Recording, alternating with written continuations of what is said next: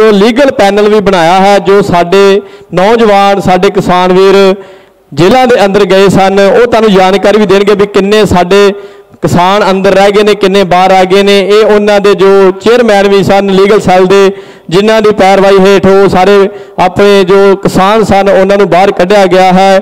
ਤੇ ਉਹਨਾਂ ਨੂੰ ਮੈਂ ਬੇਨਤੀ ਕਰਾਂਗਾ, ਨਾਟਕ ਤੋਂ ਪਹਿਲਾਂ ਇਹ ਸਾਰੀ ਜਾਣਕਾਰੀ ਸਾਡੇ ਕਿਸਾਨ ਵੀਰਾਂ ਨੂੰ ਦਿੱਤੀ ਜਾਵੇ, ਕਿਉਂਕਿ ਬਹੁਤੀਆਂ ਸੰਗਤਾਂ ਪੁੱਛਦੀਆਂ ਨੇ, ਹਜੇ ਕੱਲ ਵੀ ਗੱਲ ਚੱਲ ਰਹੀ ਸੀ ਵੀ ਜਿਹੜੇ ਅੰਦਰ ਨੇ, ਉਹ ਪਤਾ ਨਹੀਂ ਕਿਸੇ ਨੂੰ ਹਜੇ ਪਤਾ ਨਹੀਂ, ਇਸ ਲਈ ਜਾਣਕਾਰੀ ਦੇਣਗੇ ਵੀ ਕਿੰਨੇ ਰਹਿ ਗਏ ਨੇ ਤੇ ਕਿੰਨੇ ਬਾਹਰ ਆ ਗਏ ਨੇ।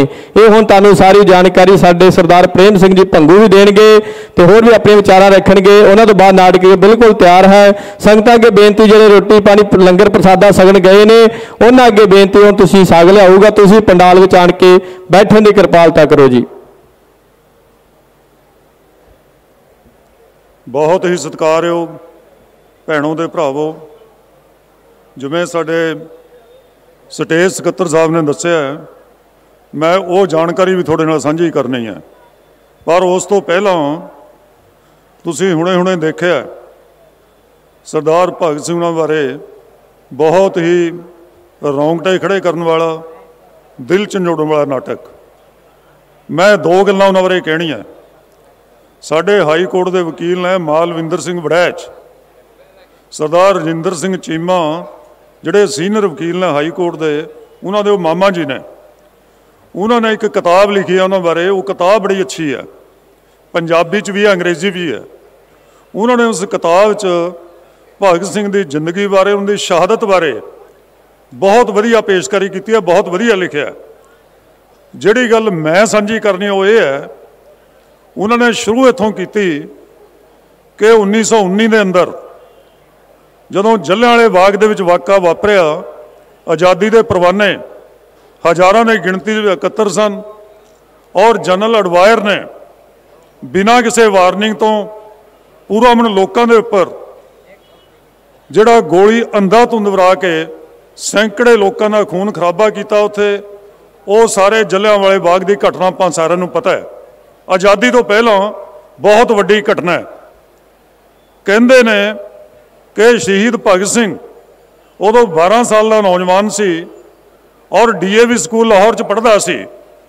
ਜਦੋਂ ਇਸ ਘਟਨਾ ਦਾ ਉਹਨੂੰ ਪਤਾ ਚੱਲਿਆ, ਦੇਖਿਆ ਅਗਲੇ ਦਿਨ ਅਖਬਾਰਾਂ 'ਚ ਪੜ੍ਹਿਆ, ਤਾਂ ਉੱਥੋਂ ਚੱਲਿਆ ਬੱਸ ਫੜ ਕੇ ਔਰ ਜੱਲਿਆਂਵਾਲੇ ਬਾਗ ਪਹੁੰਚਿਆ। ਉੱਥੇ ਦੇਖਿਆ ਖੂਨ ਖਰਾਬਾ ਬੜਾ ਹੋਇਆ ਸੀ। ਧਰਤੀ ਲਾਲ ਸੀ ਖੂਨ ਦੇ ਨਾਲ। ਉਹਨਾਂ ਇੱਕ ਕਾਗਜ਼ ਲਿਆ ਔਰ ਉਥੋਂ ਮਿੱਟੀ ਖੂਨ ਵਾਲੀ ਇਕੱਠੀ ਕਰਕੇ ਆਪਣੇ ਜੇਬ 'ਚ ਪਾਈ। ਔਰ ਇਹ ਕਸਮ ਲੈ ਕੇ ਵਾਪਸ ਮੁੜਿਆ ਕਿ ਦੇਸ਼ ਨੂੰ ਆਜ਼ਾਦ ਕਰਾਉਣਾ ਹੈ। ਉਸ ਤੋਂ ਬਾਅਦ ਫਿਰ ਉਹ ਲੱਗਿਆ ਰਿਹਾ। 12 ਸਾਲ ਦਾ ਬੱਚਾ ਸਕੂਲ ਪੜ੍ਹਦਾ ਹੋਇਆ, ਉੱਥੇ ਪਹੁੰਚਿਆ, ਇਹ ਕਸਮ ਲੈ ਕੇ ਚੱਲਿਆ। ਔਰ ਅੰਤ ਦੇ ਵਿੱਚ ਉਹਨਾਂ ਇਹ ਲਿਖਿਆ ਕਿ ਭਗਤ ਸਿੰਘ ਦੀ ਸ਼ਹਾਦਤ ਜਦੋਂ 23 ਮਾਰਚ 1931 ਨੂੰ ਹੋਈ, ਫਾਂਸੀ ਦੇ ਤੰਦੇ 'ਤੇ ਜਿਸ ਤਰ੍ਹਾਂ ਹੁਣੇ ਹੁਣੇ ਨੇ ਨਾਰਾ ਲਾਇਆ ਇਨਕਲਾਬ ਜਿੰਦਾਬਾਦ ਉਹ ਕਹਿੰਦੇ, ਇਸ ਤੋਂ ਪਹਿਲਾਂ ਇਨਕਲਾਬ ਜਿੰਦਾਬਾਦ ਦਾ ਨਾਰਾ ਨਹੀਂ ਸੀ ਲੱਗਦਾ। ਭਾਰਤ ਮਾਤਾ ਕੀ ਜੈ ਜਾਂ ਵੰਦੇ ਮਾਤਰਮ? ਇਹੀ ਨਾਰਾ ਹੁੰਦਾ ਸੀ। ਇਹ ਸੇਰਾ ਭਗਤ ਸਿੰਘ ਨੂੰ ਹੀ ਜਾਂਦਾ ਤੇ ਉਹਦੇ ਸਾਥੀਆਂ ਨੂੰ ਕਿ ਉਹਨਾਂ ਫਾਂਸੀ ਦੇ ਤੰਦੇ ਤੋਂ, ਇੰਨੇ ਹੌਸਲੇ ਦੇ ਨਾਲ ਇਨਕਲਾਬ ਜਿੰਦਾਬਾਦ ਦਾ ਨਾਰਾ ਬੁਲੰਦ ਕੀਤਾ ਔਰ ਜਿਨ੍ਹਾਂ ਅੰਗਰੇਜ਼ ਦੀਆਂ ਜੜਾਂ ਹਿਲਾ ਦਿੱਤੀਆਂ ਸਨ। ਇਹ ਵੀ ਉਹਨਾਂ ਅੱਗੇ ਲਿਖਿਆ ਕਿ ਭਾਵੇਂ ਆਜ਼ਾਦੀ ਉਸ ਤੋਂ ਬਾਅਦ 16 ਸਾਲ ਬਾਅਦ ਆਈ ਕਿਉਂਕਿ 1931 ਚ ਦੇਸ਼ ਆਜ਼ਾਦ ਨਹੀਂ ਹੋਇਆ। ਦੇਸ਼ ਆਜ਼ਾਦ 1947 ਚ ਹੋਇਆ। ਪਰ ਅੰਗਰੇਜ਼ ਨੂੰ ਇਸ ਗੱਲ ਦਾ ਉਦੋਂ ਪਤਾ ਚੱਲ ਗਿਆ ਸੀ ਕਿ ਹੁਣ ਬਹੁਤਾ ਸਮਾਂ ਉਹ ਦੇਸ਼ ਦੇ ਵਿੱਚ ਰਹਿ ਨਹੀਂ ਸਕਦਾ, ਉਹਨੂੰ ਵਾਪਸ ਜਾਣਾ ਹੀ ਪਏਗਾ। ਇਹ ਵੀ ਜਿਹੜਾ ਬਹੁਤ ਵੱਡੀ ਭਗਤ ਸਿੰਘ ਦੀ ਕੁਰਬਾਨੀ, ਉਹਨਾਂ ਦੀ ਸ਼ਹਾਦਤ, ਜਿਹੜੀ ਬੜੀ ਲਸਾਨੀ ਹੈ, ਭਾਵੇਂ ਇਤਿਹਾਸ ਸ਼ਹਾਦਤਾਂ ਦਾ ਭਰਿਆ ਹੈ ਬਹੁਤ ਬਹੁਤ ਵੱਡੀਆਂ ਸ਼ਹਾਦਤਾਂ ਨੇ ਸਿੱਖ ਇਤਿਹਾਸ ਦੇ ਅੰਦਰ ਵੀ। ਪਰ ਭਗਤ ਸਿੰਘ ਨੌਜਵਾਨ ਜਿਹੜਾ 24 ਸਾਲ ਦਾ, ਉਹਨਾਂ ਦੇ ਨਾਲ ਦੇ ਨੌਜਵਾਨ, ਉਹਨਾਂ ਦੀ ਸ਼ਹਾਦਤ ਇੱਕ ਐਸੀ ਹੈ, ਜਿਹੜੀ ਆਉਣ ਵਾਲੀ ਸਦੀਆਂ ਵੀ ਇਸ ਤਰ੍ਹਾਂ ਯਾਦ ਰਹੇਗੀ। 90 ਸਾਲ ਤੋਂ ਬਾਅਦ ਵੀ ਅੱਜ ਛੋਟੇ ਛੋਟੇ ਬੱਚੇ ਹੁਣ ਆਪਾਂ ਹੋਈਏ, ਉਹਨਾਂ ਦੀ ਸ਼ਹਾਦਤ ਤੋਂ ਬਾਅਦ ਇਸ ਤਰ੍ਹਾਂ ਲੱਗਦਾ ਜਿਵੇਂ ਕੱਲ ਦੀ ਕੋਈ ਘਟਨਾ ਹੈ। 90 ਸਾਲ ਦਾ ਸਮਾਂ ਕੋਈ ਥੋੜਾ ਨਹੀਂ, ਵੀ ਜਿਵੇਂ ਕੱਲ ਦੀ ਕੋਈ ਘਟਨਾ ਹੈ। ਔਰ ਆ ਵੀ ਆਪਾਂ ਨੇ ਦੇਖਿਆ ਕਿ ਜੋ ਜਲਾਦ ਉਸ ਨੂੰ ਲੈਣ ਆਏ, ਕਿ ਸਰਦਾਰ ਸਾਹਿਬ ਤੁਹਾਡਾ ਸਮਾਂ ਹੋ ਗਿਆ, ਚੱਲੋ। ਤਾਂ ਉਹ ਕਿਤਾਬ ਪੜ੍ਹ ਰਿਹਾ ਇਨਕਲਾਬੀ। ਇਨਕਲਾਬੀ ਕਿਤਾਬ ਪੜ੍ਹਦਾ ਹੋਇਆ ਕਹਿੰਦਾ ਇਹ ਵੀ ਰੁਕ ਜਾਓ, ਮੈਂ ਥੋੜੇ ਜਿਹੇ ਇੱਕ ਦੋ ਵਰਕੇ ਹੋਰ ਪੜ੍ਹ ਲਵਾਂ। ਉਹਨੂੰ ਸਮਾਜਵਾਦ ਦੀ, ਸਾਂਝੀਵਾਲਤਾ ਦੀ ਦੇਸ਼ 'ਚ ਇਨਕਲਾਬ ਲਿਆਉਣ ਦੀ ਇੰਨੀ ਤਾਂਘ ਸੀ ਕਿ ਜਦੋਂ ਪਤਾ ਹੋਵੇ ਇੱਕ ਪਲ ਬਾਅਦ ਉਸਦੀ ਜ਼ਿੰਦਗੀ ਖਤਮ ਹੋਣ ਵਾਲੀ ਹੈ, ਤਾਂ ਉਦੋਂ ਵੀ ਇਨਕਲਾਬੀ ਕਿਤਾਬ ਦਾ ਵਰਕਾ ਜਿਹੜਾ, ਉਹ ਇਹ ਨਹੀਂ ਸੀ ਚਾਹੁੰਦਾ ਕਿ ਅਨਪੜ੍ਹਿਆ ਰਹਿ ਜਾਏ ਮੈਂ ਪੜ੍ਹ ਕੇ ਜਾਵਾਂ।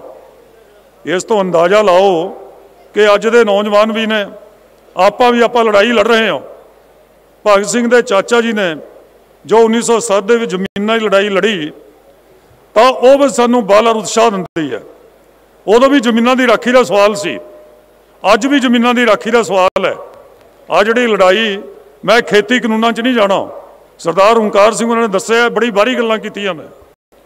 ਆ ਜਿਹੜੀ ਲੜਾਈ ਮੁੱਖ ਤੌਰ ਦੇ ਉੱਪਰ ਖੇਤੀ ਕਾਨੂੰਨਾਂ ਦੇ ਜ਼ਰੀਏ ਆ ਰਹੀ ਹੈ ਉਹ ਹੈ ਜ਼ਮੀਨਾਂ ਦੇ ਉੱਪਰ ਕਬਜ਼ੇ ਕਰਨ ਦੀ। ਬਹੁਤ ਵੱਡੇ ਕਾਰਪੋਰੇਟ ਸੈਕਟਰ, ਬਹੁਤ ਵੱਡੀਆਂ ਕੰਪਨੀਆਂ, ਇਹ ਜ਼ਮੀਨ ਦੇ ਉੱਪਰ ਕਬਜ਼ਾ ਕਰਨਾ ਚਾਹੁੰਦੀਆਂ ਨੇ, ਭਾਵੇਂ ਦੇਸ਼ 'ਚ ਹੋਵੇ, ਭਾਵੇਂ ਵਿਦੇਸ਼ 'ਚ ਹੋਵੇ। ਕਿਉਂਕਿ ਆਉਣ ਵਾਲੇ 15-20 ਸਾਲਾਂ ਦੇ ਅੰਦਰ ਜ਼ਮੀਨਾਂ ਰਹਿ ਨਹੀਂ ਜਾਣੀਆਂ, ਬੜੀਆਂ ਥੋੜੀਆਂ ਰਹਿਣੀਆਂ ਨੇ। ਜਿਨ੍ਹਾਂ ਦਾ ਜ਼ਮੀਨਾਂ ਦੇ ਉੱਪਰ ਕਬਜ਼ਾ ਹੋਣਾ ਹੈ, ਅਜਾਰੇਦਾਰੀ ਹੋਣੀ ਹੈ, ਜਾਂ ਅਨਾਜ ਦੇ ਉੱਪਰ ਅਜਾਰੇਦਾਰੀ ਹੋਣੀ ਹੈ, ਸਭ ਤੋਂ ਵੱਧ ਲੁੱਟ ਔਰ ਮੁਨਾਫਾ ਉਹੀ ਘਰਾਣੇ ਕਰਨਗੇ, ਜਿਹੜੇ ਇਹਨਾਂ ਦੇ ਮਾਲਕ ਹੋਣਗੇ।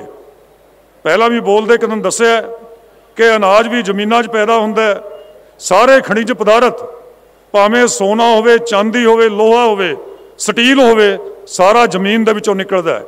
ਇਹ ਕਾਰਖਾਨੇ ਪੈਦਾ ਨਹੀਂ ਕਰਦੇ, ਨਾ ਹੀ ਕੰਪਿਊਟਰ ਪੈਦਾ ਕਰਦੇ ਨੇ। ਪੈਦਾ ਤੁਸੀਂ ਕਰਨਾ ਜ਼ਮੀਨਾਂ ਨੇ ਪੈਦਾ ਕਰਨਾ ਇਸ ਲਈ ਕਾਰਪੋਰੇਟ ਘਰਾਣੇ ਨੇ ਜਿਹੜੇ ਭਾਵੇਂ ਸਾਡੇ ਦੇਸ਼ ਦੇ ਨੇ ਜਾਂ ਬਾਹਰਲੇ ਦੇਸ਼ਾਂ ਦੇ ਨੇ, ਉਹਨਾਂ ਦੀ ਅੱਖ ਅੱਜ ਜ਼ਮੀਨਾਂ ਦੇ ਉੱਪਰ ਹੈ ਕਿ ਸਭ ਤੋਂ ਵੱਡਾ ਸੋਮਾ ਹੈ। ਸਭ ਤੋਂ ਵੱਡਾ ਖੇਤਰ ਹੈ, ਜਿਹਦੇ ਵਿੱਚ ਦੇਸ਼ ਔਰ ਵਿਦੇਸ਼ ਦੇ ਲੋਕਾਂ ਦੀ ਆਉਣ ਵਾਲੇ ਸਮੇਂ 'ਚ ਭਾਰੀ ਲੁੱਟ ਹੋਣੀ ਹੈ। ਇਸ ਲਈ ਇਹ ਕਾਨੂੰਨ ਉਸ ਸੰਦਰਭ ਦੇ ਵਿੱਚ ਲਿਆਂਦੇ ਨੇ। ਅਗਲੀ ਗੱਲ, ਸੰਯੁਕਤ ਮੋਰਚੇ ਦੀਆਂ ਟੀਮਾਂ ਪੱਛਮੀ ਬੰਗਾਲ 'ਚ ਗਈਆਂ ਨੇ, ਜ਼ਿਕਰ ਕੀਤਾ ਮੈਸੇਜ ਦੇਣ ਲਈ, ਸੰਦੇਸ਼ ਦੇਣ ਲਈ ਕਿ ਬੀਜੇਪੀ ਨੂੰ ਵੋਟ ਨਾ ਦਿਓ। ਬੀਜੇਪੀ ਦਾ ਸਿਆਸੀ ਨੁਕਸਾਨ ਹੋਵੇ ਜਿਨ੍ਹਾਂ ਸਾਡਾ ਸਿਆਸੀ ਨੁਕਸਾਨ ਕੀਤਾ ਸਾਡਾ ਰੁਜ਼ਗਾਰ ਖੋਇਆ ਹੈ ਸਾਡੀ ਖੇਤੀਬਾੜੀ ਖੋਣ ਲੱਗੀ ਹੈ। ਸਾਡੇ ਖੇਤਾਂ ਨੂੰ ਖਤਰਾ ਹੈ। ਅੱਜ ਉਸ ਨੂੰ ਸੰਦੇਸ਼ ਦੇਣ ਲਈ ਗਏ ਆ ਕਿ ਉਹਨੂੰ ਵੋਟ ਨਾ ਪਾਓ। ਉਹਦਾ ਨੁਕਸਾਨ ਕਰੀਏ। ਪਰ ਪੱਛਮੀ ਬੰਗਾਲ ਦੇ ਵਿੱਚ ਜਿਹੜੀ ਲੜਾਈ ਹੈ, ਉਹ ਵੀ ਜ਼ਮੀਨਾਂ ਦੀ ਲੜਾਈ ਤੋਂ ਸ਼ੁਰੂ ਹੋਈ। ਤੁਹਾਡੇ ਚੇਤੇ ਗ੍ਰਾਮਾਂ ਨੰਦੀ ਗ੍ਰਾਮ ਔਰ ਸੰਗੂਰ ਦੀਆਂ ਘਟਨਾਵਾਂ ਜਿਹੜੀ ਅੱਜ ਤੋਂ 15 ਸਾਲ ਪਹਿਲਾਂ ਹੋਈਆਂ। ਵੱਡੇ ਕਾਰਪੋਰੇਟ ਘਰਾਣੇ ਨੈਨੋ ਕਾਰ ਦੀ ਫੈਕਟਰੀ ਲਾਉਣ ਦੇ ਲਈ ਕਿਸਾਨਾਂ ਨੂੰ ਉਜਾੜ ਕੇ ਬੜੇ ਸਸਤੇ ਭਾਅ ਦੇ ਉੱਪਰ ਜ਼ਮੀਨਾਂ ਹਥਿਆਈਆਂ ਸਨ। ਨਾ ਕੋਈ ਮੁੜਸੇਬਾ ਕੀਤਾ। ਇਹ ਲੜਾਈ ਜ਼ਮੀਨਾਂ ਦੀ ਰਾਖੀ ਦੀ ਪੱਛਮੀ ਬੰਗਾਲ ਤੋਂ ਸ਼ੁਰੂ ਹੋਈ।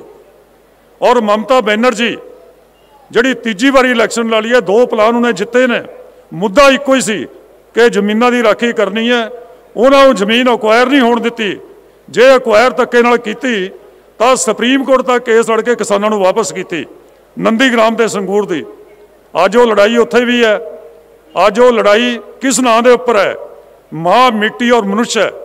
ਮਮਤਾ ਬੈਨਰਜੀ ਦਾ ਪੱਛਮੀ ਬੰਗਾਲ 'ਚ ਬੜੀ ਵਾਰ ਨਾਰਾ ਤੁਸੀਂ ਪੜਿਆ ਕਿ ਲੜਾਈ ਮਾਂ, ਮਿੱਟੀ ਔਰ ਮਨੁੱਖ ਇਸ ਦੀ ਲੜਾਈ ਹੈ। ਉਹ ਲੜਾਈ ਲੜੀ ਜਾ ਰਹੀ ਹੈ ਉੱਥੇ। ਆਪਾਂ ਦੇਖੋ ਆਦੀਵਾਸੀ ਖੇਤਰਾਂ ਦੇ ਅੰਦਰ, ਛੱਤੀਸਗੜ੍ਹ ਹੋਵੇ, ਉੜੀਸਾ ਹੋਵੇ, ਆਂਧਰਾ ਪ੍ਰਦੇਸ਼, ਵੈਸਟ ਬੰਗਾਲ, ਜਿੱਥੇ ਆਦੀਵਾਸੀ ਰਹਿੰਦੇ ਨੇ ਜੰਗਲਾਂ ਦੇ ਅੰਦਰ, ਉੱਥੇ ਵੀ ਲੜਾਈ ਹੀ ਹੈ। ਜਲ, ਜੰਗਲ ਔਰ ਜ਼ਮੀਨ, ਉਹ ਆਦੀਵਾਸੀ ਲੋਕਾਂ ਨੂੰ ਜਿਨ੍ਹਾਂ ਦਾ ਗੁਜ਼ਾਰਾ ਜ਼ਮੀਨਾਂ ਦੇ ਉੱਪਰ ਹੈ ਜਿਨ੍ਹਾਂ ਦਾ ਗੁਜ਼ਾਰਾ ਲੱਕੜਾਂ ਦੇ ਉੱਪਰ ਜਿਹੜੀਆਂ ਬਹੁਤ ਮਹਿੰਗੀਆਂ ਲੱਕੜਾਂ ਜੰਗਲਾਂ 'ਚ ਖੜੀਆਂ ਨੇ। ਜ਼ਮੀਨ ਦੇ ਵਿੱਚ ਬੜਾ ਕੁਝ ਹੈ, ਪਾਣੀ ਹੈ ਉੱਥੇ, ਖਣਿਜ ਪਦਾਰਥਾਂ ਨੇ, ਪਰ ਕਾਰਪੋਰੇਟ ਸੈਕਟਰ ਧੱਕੇ ਨਾਲ ਉਹ ਜ਼ਮੀਨਾਂ ਉੱਥੇ ਹਥਿਆਰ ਹੈ। ਜੇ ਉਹ ਆਦੀਵਾਸੀ ਵਿਚਾਰੇ ਲੜਦੇ ਨੇ ਆਪਣੇ ਰੋਜ਼ਗਾਰ ਲਈ, ਕਦੇ ਉਹਨਾਂ ਨੂੰ ਨੈਕਸਲਾਈਟ ਕਿਹਾ ਜਾਂਦਾ ਹੈ, ਕਦੇ ਮਾਓਇਸਟ ਕਹਿੰਦੇ ਨੇ, ਵੱਡੀ ਗਿਣਤੀ ਗਿਣਤੀ ਦੇ ਵਿੱਚ ਆਪਰੇਸ਼ਨ ਕਰਕੇ ਮਾਰ ਵੀ ਦਿੱਤੇ ਜਾਂਦੇ ਨੇ। ਬਹੁਤ ਵੱਡਾ ਜ਼ੁਲਮ ਔਰ ਹਨੇਰਗਰਦੀ ਉਹਨਾਂ ਖੇਤਰਾਂ 'ਚ ਹੋ ਰਹੀ ਹੈ, ਆਦੀਵਾਸੀਆਂ ਨੂੰ ਜ਼ਮੀਨਾਂ ਤੋਂ ਉਜਾੜਨ ਲਈ।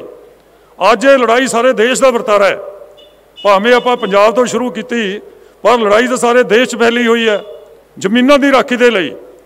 ਧੂਰ ਲੈ ਕੇ ਜੰਮੂ ਕਸ਼ਮੀਰ ਤੋਂ, ਜਿੱਥੇ ਧਰਤੀ ਖਤਮ ਹੋ ਜਾਂਦੀ ਹੈ ਕੰਨਿਆ ਕੁਮਾਰੀ ਤੱਕ, ਤਾਮਿਲਨਾਡੂ ਤੱਕ, ਸਾਰੇ ਲੋਕ, ਸਾਰੇ ਕਿਸਾਨ, ਸਾਰੇ ਜਿਹੜੇ ਆਪਾਂ ਕਹੋ ਸਮਾਜ ਦੇ ਵਰਗ ਨੇ, ਉਹ ਸਾਰੇ ਜ਼ਮੀਨਾਂ ਦੇ ਵਾਸਤੇ ਇੱਕ ਨੇ।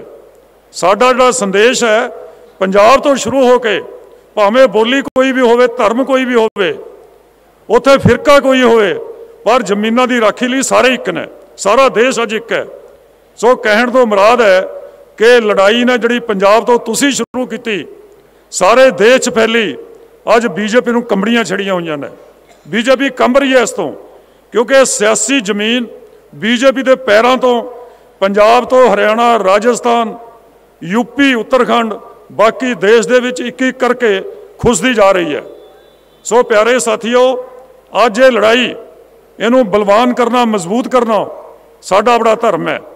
ਜੇ ਜ਼ਮੀਨ ਦੀ ਰਾਖੀ ਨਹੀਂ ਕਰਾਂਗੇ ਧਰਤੀ ਦੀ ਰਾਖੀ ਨਹੀਂ ਕਰਾਂਗੇ ਤਾਂ ਸਾਡੇ ਕੋਲ ਕੁਝ ਰਹਿਣ ਵਾਲਾ ਨਹੀਂ। ਬਾਕੀ ਮੋਦੀ ਨੇ ਕੁਝ ਛੱਡਿਆ ਨਹੀਂ। ਸਾਰੇ ਖੇਤਰ ਇੱਕ ਇੱਕ ਕਰਕੇ ਖੋਹੇ ਨੇ। ਸਾਡੇ ਸਿਰਾਂ ਦੇ ਉੱਪਰ ਬਹੁਤ ਵੱਡੇ ਕਰਜ਼ੇ ਨੇ। ਬਹੁਤ ਵੱਡੀਆਂ ਖੁਦਕਸ਼ੀਆਂ ਹੋ ਰਹੀਆਂ ਨੇ। ਪੰਜਾਬ ਇੱਕ ਖੁਸ਼ਹਾਲ ਸੂਬਾ ਹੈ, ਜਿਹਨੂੰ ਕਹਿੰਦੇ ਸੀ ਕਦੇ ਖੁਦਕੁਸ਼ੀ ਨਹੀਂ ਹੁੰਦੀ। ਪਿਛਲੇ 3 ਸਾਲਾਂ ਤੋਂ ਦੋ ਖੁਦਕੁਸ਼ੀਆਂ ਹਰ ਰੋਜ਼ ਹੁੰਦੀਆਂ ਨੇ।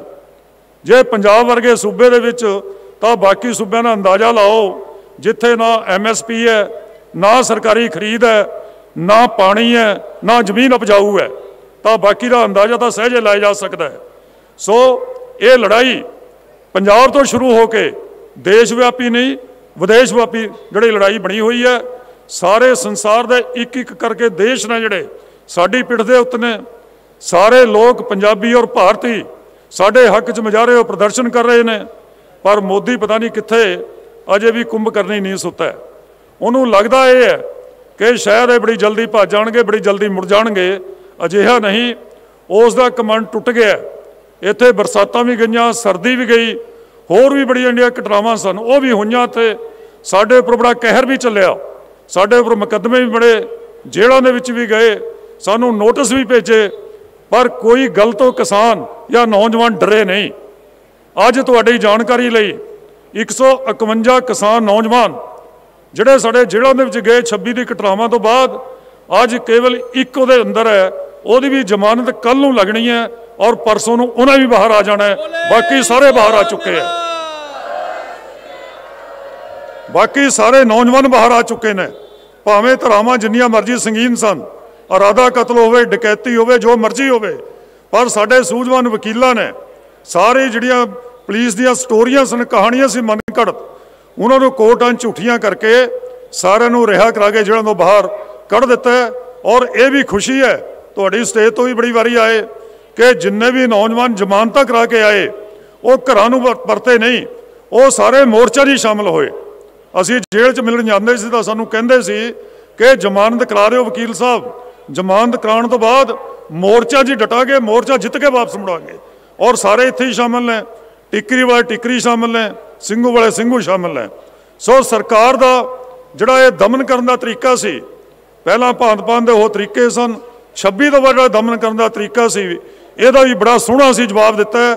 ਔਰ ਇਹ ਵੀ ਅੱਜ ਸਰਕਾਰ ਉਸ ਤੋਂ ਵੀ ਇੱਕ ਇੱਕ ਕਰਕੇ ਪਿੱਛੇ ਮੁੜ ਰਹੀ ਹੈ। ਉਹਨੂੰ ਪਤਾ ਹੈ ਕਿ ਇਹ ਵੀ ਚਾਲ ਚੋਂ ਅਸਫਲ ਹੋਏ ਨੇ। ਅਸੀਂ ਜੇਲ੍ਹਾਂ ਦੇ ਵਿੱਚ ਵੀ ਜਾ ਕੇ ਮੁਕੱਦਮੇ ਵੀ ਭੁਗਤ ਕੇ ਔਰ ਨੋਟਿਸਾਂ ਦਾ ਵੀ ਸਾਹਮਣਾ ਕਰਕੇ ਬੜੇ ਨੋਟਿਸ ਭੇਜੇ, ਤੁਹਾਨੂੰ ਥਾਂ ਥਾਂ ਅਜੇ ਵੀ ਜਾ ਰਹੇ ਨੇ। ਰਾਜੇਵਾਲ ਸਾਹਿਬ ਨੇ ਇੱਕ ਦਿਨ ਚੰਡੀਗੜ੍ਹ ਪ੍ਰੈਸ ਕਾਨਫਰੰਸ ਕਰ ਕਹਿਤਾ ਅਸੀਂ ਪਹਿਲਾਂ ਹੀ ਇੱਥੇ ਕਿਹਾ ਸੀ, ਉਹ ਕਹਿੰਦੇ ਨੋਟਿਸ ਜਿਹਨੂੰ ਜਾਂਦਾ ਹੈ, ਇਹਨੂੰ ਫੂਕ ਦੇ ਉੱਥੇ ਹੀ।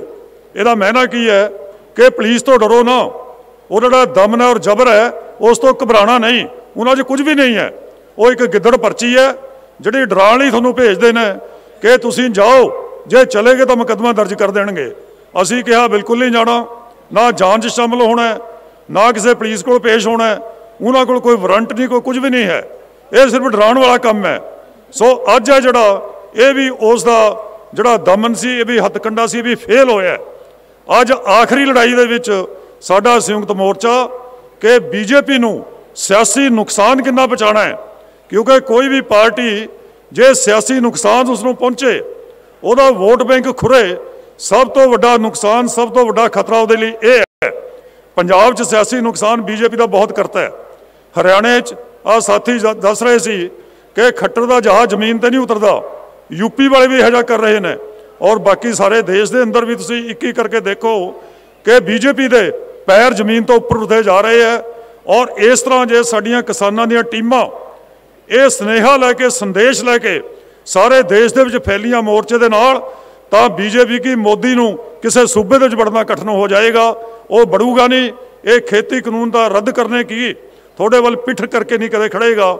ਇਸ ਤਰ੍ਹਾਂ ਦਾ ਜਿਹੜਾ ਮੋਦੀ ਦਾ ਹਸ਼ਰ ਦੇਸ਼ ਦੇ ਵਿੱਚ ਹੋਣ ਵਾਲਾ ਹੈ, ਉਹਦੀ ਭਾਰਤੀ ਜਨਤਾ ਪਾਰਟੀ, ਉਹਦੇ ਬਾਕੀ ਨੁਮਾਇੰਦੇ ਸਾਰੇ ਜਿਹੜੇ ਇੱਕ ਇੱਕ ਕਰਕੇ ਲੋਕਾਂ ਦੇ ਰੋਹ ਦਾ, ਲੋਕਾਂ ਦੇ ਗੁੱਸੇ ਦਾ ਸਾਹਮਣਾ ਨਹੀਂ ਕਰ ਰਹੇ। ਇਸ ਲਈ ਦੇਸ਼ ਦੇ ਵਿੱਚ ਵੀ ਹਰ ਸੂਬੇ ਦੇ ਅੰਦਰ ਜਿੱਥੇ ਚੋਣਾਂ ਹੋ ਰਹੀਆਂ ਨੇ ਅਸੀਂ ਇਹ ਪੈਗਾਮ ਦਵਾਂਗੇ ਕਿ ਬੀਜੇਪੀ ਨੂੰ ਵੋਟ ਨਹੀਂ ਪਾਣੀ। ਜਿਹਨੂੰ ਮਰਜ਼ੀ ਵੋਟ ਪਾਓ, ਜਿਹੜਾ ਬੀਜੇਪੀ ਨੂੰ ਹਰਾ ਸਕਦਾ ਵੋਟ ਉਹਨੂੰ ਪਾਓ। ਸਾਡਾ ਰਾਜਨੀਤਿਕ ਮੰਤਵ ਕੋਈ ਨਹੀਂ। ਸਾਡਾ ਕੋਲ ਗੈਰ ਸਿਆਸੀ ਹੈ, ਕਿਸਾਨੀ ਮੁੱਦਿਆਂ ਦੇ ਉੱਪਰ ਹੈ। ਸੋ ਇਹ ਸੰਦੇਸ਼ ਔਰ ਪੈਗਾਮ ਸਾਰੇ ਦੇਸ਼ ਦੇ ਵਿੱਚ ਜਾ ਰਿਹਾ ਹੈ। ਇਹਦੇ ਨਾਲ ਮੈਂ ਕਹਿੰਦਾ ਵੀ ਮੋਰਚਾ ਬੜਾ ਮਜ਼ਬੂਤ ਹੋ ਰਿਹਾ, ਬੜਾ ਬਲ ਮਿਲ ਰਿਹਾ ਸਾਡੇ ਮੋਰਚੇ ਨੂੰ ਥਾਂ ਥਾਂ ਜਿੱਥੇ ਵੀ ਜਾਈਏ, ਬਹੁਤ ਵੱਡੀ ਗਿਣਤੀ ਵਿੱਚ ਲੋਕ ਉਤਸ਼ਾਹ ਨਾਲ ਮੋਰਚਾ 'ਚ ਸ਼ਾਮਲ ਹੋ ਰਹੇ ਨੇ। ਸੋ ਪਿਆਰੇ ਸਾਥੀਓ ਅੰਤਮ ਬੇਨਤੀ ਇਹੀ ਹੈ ਕਿ ਆਪਣੇ ਸਾਰੇ ਪਿੱਛੇ ਬੈਠੇ ਵੀ ਜਿੱਥੇ ਆਪਣੇ ਭਰਾ ਨੇ, ਭੈਣਾਂ ਨੇ, ਨੌਜਵਾਨ ਨੇ, ਕਿਸਾਨ ਨੇ, ਸਾਰਿਆਂ ਨੂੰ ਸੁਨੇਹਾ ਤੋਂ ਵੱਡੀ ਗਿਣਤੀ ਦੇ ਵਿੱਚ। 23 ਮਾਰਚ ਸਾਡੇ ਸਾਹਮਣੇ ਆ ਰਿਹਾ ਹੈ। ਭਗਤ ਸਿੰਘ ਦਾ ਸ਼ਹੀਦੀ ਦਿਹਾੜਾ ਹੈ। ਇਹ ਸਟੇਜ ਤੋਂ ਹੀ ਨਾਟਕਾਂ ਨਾਲ, ਭਾਸ਼ਣਾਂ ਨਾਲ ਭਗਤ ਸਿੰਘ ਨੂੰ ਇਨਕਲਾਬੀ ਸ਼ਰਧਾਂਜਲੀ ਦੇਣੀ ਹੈ ਔਰ 26 ਮਾਰਚ ਨੂੰ ਭਾਰਤ ਬੰਦ ਹੈ। 26 ਮਾਰਚ ਨੂੰ ਤਕੜੇ ਹੋ ਕੇ ਭਾਰਤ ਬੰਦ ਕਰੋ। ਭਾਰਤ ਦਾ ਕੋਈ ਸੂਬਾ ਜਿਹੜਾ ਅਜਿਹਾ ਨਾ ਹੋਵੇ ਜਿੱਥੇ ਜਨ ਜੀਵਨ ਔਰ ਕਾਰੋਬਾਰ ਠੱਪ ਨਾ ਹੋਵੇ, ਇਹ ਬਹੁਤ ਵੱਡਾ ਜਿਹੜਾ ਸੰਦੇਸ਼, ਬਹੁਤ ਵੱਡਾ ਜਿਹੜਾ ਇੱਕ ਕਿਸਮ ਦਾ ਚੈਲੰਜ ਔਰ ਵੰਗਾਰ ਹੋਏਗੀ ਬੀਜੇਪੀ ਨੂੰ। ਉਸ ਤੋਂ ਬਾਅਦ ਉਹ ਮਜਬੂਰ ਹੋਏਗੀ ਕਿ ਗੱਲਬਾਤ ਦੇ ਦਰਵਾਜ਼ੇ ਖੋਲੇ ਔਰ ਕਾਲੇ ਜਿਹੜੇ ਖੇਤੀ ਕਾਨੂੰਨ ਹੈ, ਇਹਨਾਂ ਦੇ ਉੱਪਰ ਲੀਕ ਮਾਰੇ ਐਮਐਸਪੀ ਦੇ ਕਾਨੂੰਨ ਬਣਾਏ। ਇੰਨੀ ਬੇਨਤੀ ਕਰਕੇ ਥੋੜਾ ਸਾਰਿਆਂ ਦਾ ਬਹੁਤ ਬਹੁਤ ਧੰਨਵਾਦ। ਵਾਹਿਗੁਰੂ ਜੀ ਕਾ ਖਾਲਸਾ, ਵਾਹਿਗੁਰੂ ਜੀ ਕੀ ਫਤਿਹ।